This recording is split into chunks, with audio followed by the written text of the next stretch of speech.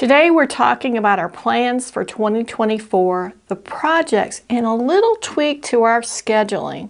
So grab something to drink or a cookie to munch on because I know you have leftover Christmas cookies, don't you? We'll see in just a second.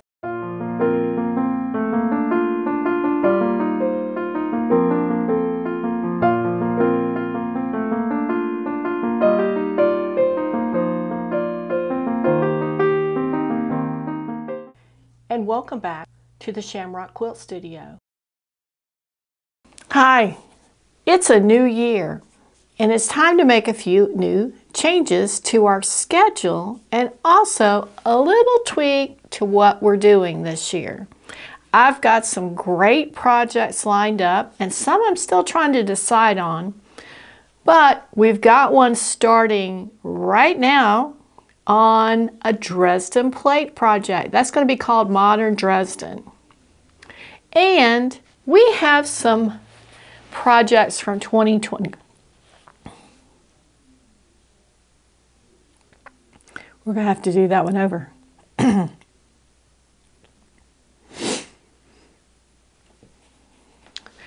We also have some projects for 2023 that we really need to work on and work towards getting them finished.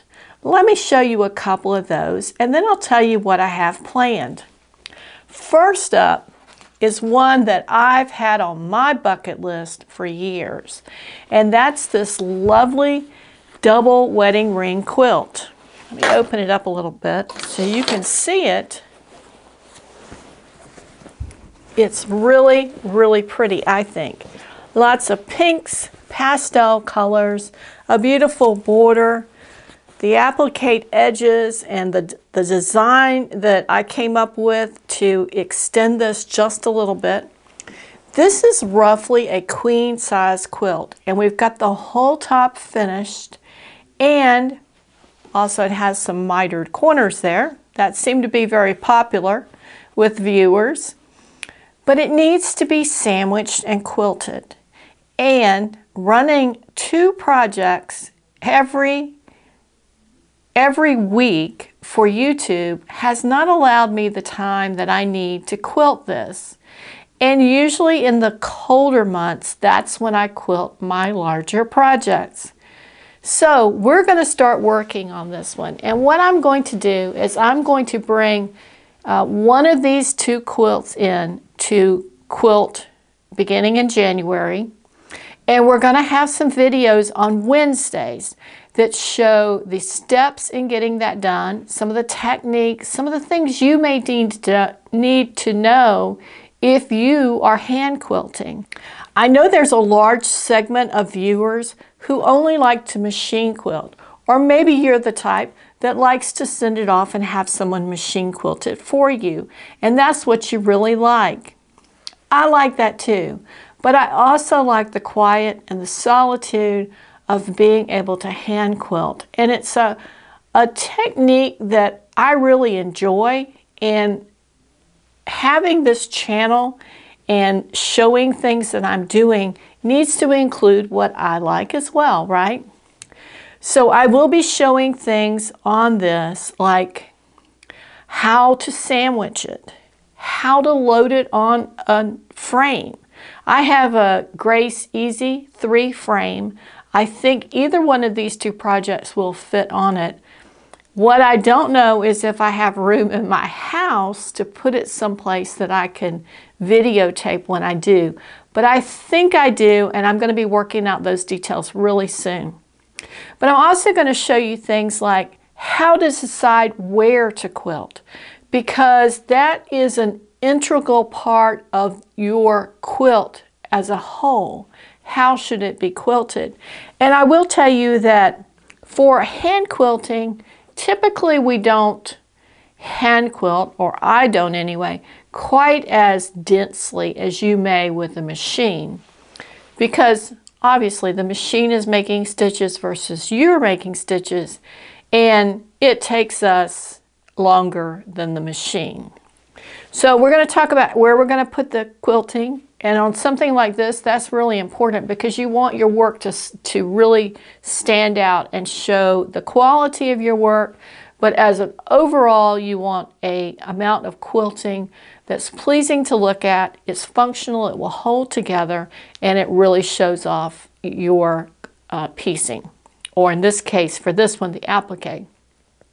I'm also going to show you how to use a stencil, how to mark it, when to mark it. Now, if I use the Easy, Easy, Grace EZ3 frame, I don't mark until I get ready to quilt it because that frame holds everything very firmly in place. It's not like a hoop where when you move it from place to place, the fabric may change how it's positioned. With the Grace, when you put it on, it stays on, and that's how I do that. So you may have a little difference if you're doing something with a hoop. So we're going to talk about that. We're going to talk about how I use straight pins as markers to keep up with where I leave it off because usually when I'm quilting something like this, I may work an hour a night on it and then I have to step away and do other things. I can't spend four or five hours quilting. Usually two, three is about all I can get at a one sitting. So I use quilting straight pins to mark where I work. And then we're going to talk a little bit about some of the little cheater tools that I use to mark to make sure that I am consistent with my stitch length. So we'll talk about all of that stuff on our Wednesday videos. I'm also going to talk on our Wednesday videos about things like binding, binding techniques. What are the, all of the different ways that you can bind a quilt? And what do you know about each one? Now, it's not absolute. It's not everything anybody ever knew about binding, but it's what I know and what I can share with you. And like everything we do here, if you want to share back with me, please do that in a comment.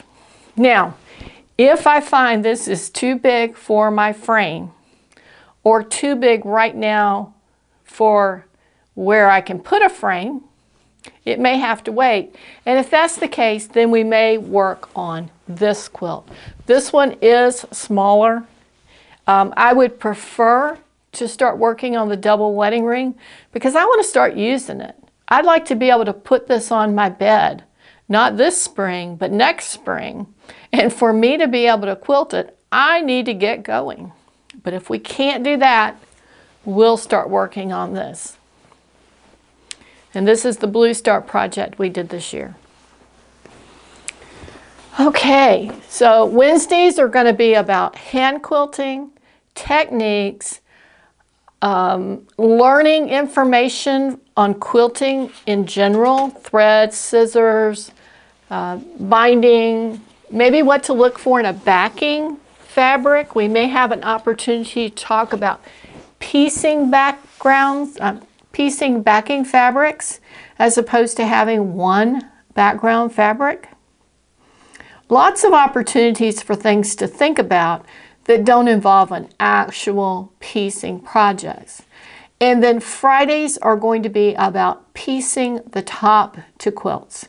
And like I said, we're going to have, we have the um, Dresden plate project that's going to start right away if it hasn't already, depending on when this drops. I have a project I'm calling Be Happy. We'll probably do that in early summer. And then I want to get started on a new EPP project because those are great um, portable projects that you can take with you if you have appointments or children and uh, different kinds of lessons or practices that you can take with you and work uh, on site. And um, that's a good way to optimize the time that you spend waiting. And I have that as well. And then I have some other ideas of maybe some kind of crazy things that I'd like to do that I've been kicking around in my head for almost a year now. So we may do that or we may choose to take on another project. If you've got something you'd like to see, um, I'd be interested in thinking about whether that's a good fit for the channel. There are a lot of quilt designs out there that I'm really anxious to do, but I have to know that it's something or I have to I have to consider whether it's something that I have the time to finish. I don't really want to get involved in something like this maybe right now that's going to be years in the making. I kind of want to um, know that it's something that we can make steady progress on and be able to finish it in a reasonable amount of time. I'd love to do a carpenter's star. I'd love to do a hunter's star. I'd like to do some designing in EPP with, with um, diamonds. That's what I've been looking at recently. Uh, Dear Jane. Dear Jane is one of those bucket list projects that I see going into retirement, starting something like that, and just being able to work on it maybe one block a week until it's done. And there are a lot of blocks, and a lot of those blocks are very difficult. So um, that is definitely a further off project. And I'm sure there are plenty of people doing videos on Dear Jane, so uh, you probably don't need me doing that right now. So we've got a lot of things going on. I did think we were going to do a project on a star, uh, excuse me, on a snowflake for early winter. But um, in looking at that, that was just so complicated that I need to step back and reevaluate the techniques that are used and try to find a maybe not a better way to do it, but a different way to approach it so that it's it lends itself to exposure on YouTube and being able to complete that. It was confusing me, to be honest with you. So I've got a lot of great plans for 2024. And like I said, we will continue to do two videos a week, but we're going to just swap up how they are. I found that running two projects with vi new videos every week was just a little taxing. So I need to kind of step back a little bit and focus some on what I enjoy doing and what I need to get done and bring you along with that and share some of the techniques on it, but yet still have new projects that I know everyone out there is interested in a new project. And if it were humanly possible to bring you a new project every Friday, I would do that. But there's no staff helping me, and I don't have unlimited time to do that, so that, that's not very feasible. But we will do our best to give you projects that will move quickly. Okay, that's what we go. I think we have a plan for 2024, and I'm really excited about it and uh, we will just get going on it and see how it works. If we need to readjust, we will. As always, I thank you so much for joining us and supporting the channel. Please be sure to like our video and subscribe. If you hit that little button, it will pop up on YouTube every time a new video is um, published. Right now, those are going to be Wednesdays and Fridays. And we'll see you next week here at the Shamrock Quilt Studio. Thanks again. Have a happy new year.